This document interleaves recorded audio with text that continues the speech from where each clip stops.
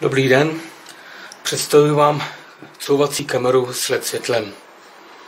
Kamera umístěná uprostřed má přibližně úhel záběru 120 stupňů, okolo je 8 výkonných LED světel, celé je to umístěné v kompaktním těle z hliníkové slitiny s chlazením. Nahoře je držák, ke kterému je dodáván zbylé komponenty, dá se uchytit na nárazník nebo rampu vozidla.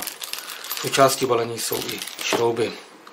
Kamera se zapojuje standardně na 12 V a dále je zde koaxiální kabel, který se připojí k LCD displeji. Tyto displeje v naší nabídce si můžete najít také.